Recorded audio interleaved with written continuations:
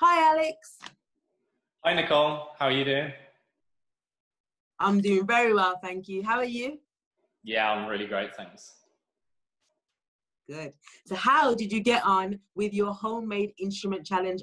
And actually had fun trying to make some things that you made. So, do you want to tell us a little bit about what you did? Well, yeah, I really enjoyed using some ingredients from around the house and recycling some old containers. And uh, I'm really looking forward to hearing your beats that you've made on your kit. Oh, brilliant. Thank you. I had fun, to be honest. I just grabbed whatever I could find and made a tiny little beat. So, guys, please grab whatever you can at home. Hopefully, myself and Alex will inspire you to create a homemade band. And Alex, should we just should we show them what we made? Let's show them. Let's show them what we've done. Hi guys, so today we're making homemade drums from anything we can find in our house. So as you can see, I've got two bowls. I also got my trusted pot. I've got a flask, my little oil burner. I've also got myself a grater and a spatula. Today, I'm going to create some drum sounds with these things. Now, as a music producer, we're always creating our own sounds by doing random little things around our house and sampling things. And I'm gonna put these sounds together, chop them up, and see if we can come up with a rhythm. So, guys, I just want you to find anything you've got at home. You can find a bowl, you can find a pot, you can find a flask, you can find anything else you can bang on to make different timbres and different sounds, and then put them together. I'm going to edit mine, but you don't have to edit yours. You can literally play along to your favourite song, which is what Alex will do shortly. So let's give it a go.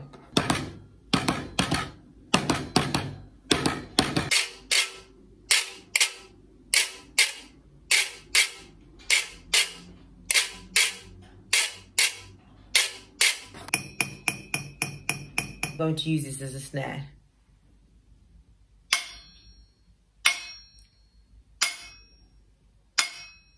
And I'm going to chop these up and make a little soundscape for you guys. So take a listen.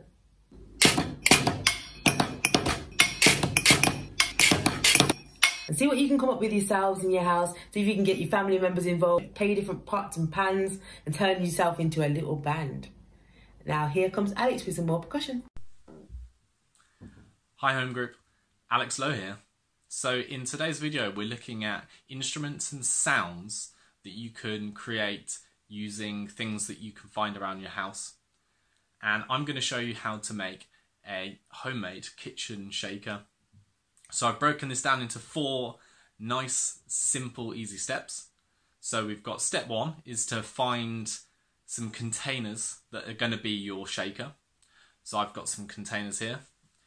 We've got step two, which is finding some ingredients or something to put in your shaker. Step three is assembling. And step four is playing your shaker and having a jam, rocking out a little bit. So, step one, I've got a couple of different shakers to show you, some containers. So, I've got uh, cans work really well. So, I've got a, a small can here, and I find that the crisp these crisp tubes work really well. So these are my shaker containers.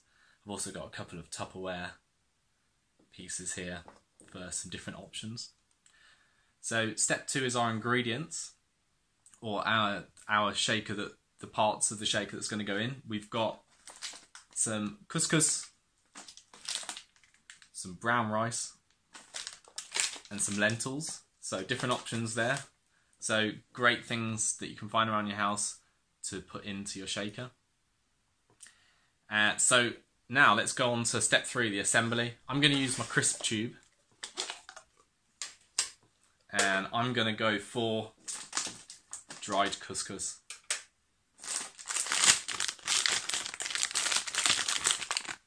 So I'm going to put some couscous in there. I'm going to fill mine half full. And these crisp tubes are great, or the Tupperware, or some of these cans that have lids on them already. So our assembly now is just putting the lid on and you've, you've, you've got your homemade shaker already. Okay, so we're on step four. Jam number one. I've got couscous crisp tube. Let's hear how this sounds.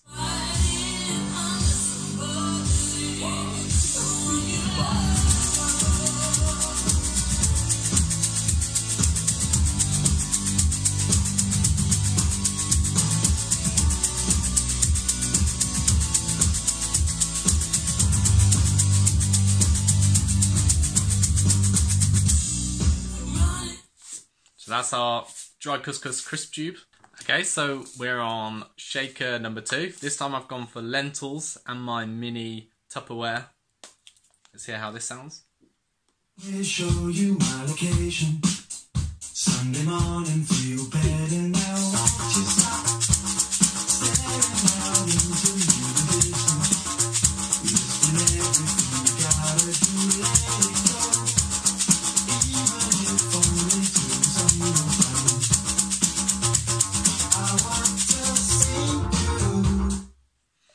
they're, they're my second two. Great because the lids come with them, easy to assemble. Shaker number three is my small metal tin with some uh, dried rice in this one. Let's hear how this sounds.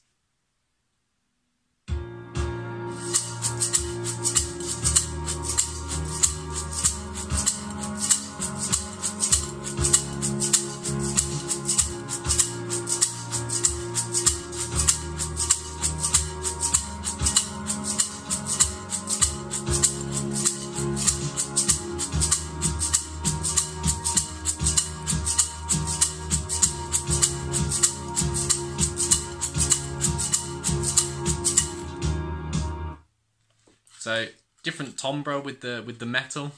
Again, it's got a, a lid that came with it, so you can try different types of dry ingredients in there, see what sounds you can make. Have fun. So there we have it.